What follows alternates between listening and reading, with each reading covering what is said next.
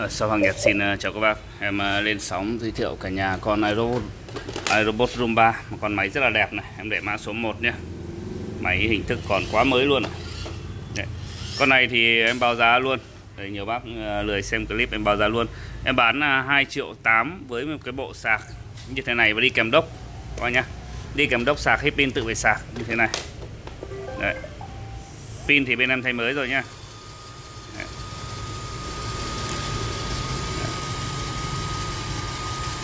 Đấy ạ. Còn bác nào mà không muốn ờ, mua bộ sạc này thì bán 2 triệu với cái sạc cắm sườn. Bác nghe. Dạ, có hai hình thức bán cho các bác. Sạc cắm sườn. Đấy, hoặc là đốc này thì các bác cũng có thể rút ra cắm được. Dạ. Đấy, có hai hình thức là như vậy, cắm sạc vào đây. Một con máy hình thức rất là đẹp, đảm bảo hút cực sạch luôn ạ, bảo hành cho các bác 3 tháng, pin thì thay mới, cảm biến ờ, chống rơi cầu thang các bác nhé đến ờ, mép cầu thang là tự động ờ, quay lại.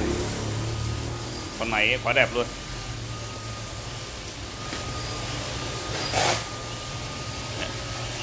Riêng đối với hãng iRobot Roomba này các bác lưu ý là mua hãng này thì uh, chổi rất là sẵn này. Bác nào mua em tặng một cái chổi nhé tặng một cái chổi mới. Pin thì đã thay mới rồi. Hai chổi này cũng rất là rẻ chỉ có hơn trăm nghìn thôi. Đấy. lọc rác này cũng có trăm nghìn thôi. Đấy. các bác mua hút bụi thì mình mua những cái hãng nào mà mà nó thông dụng với linh kiện.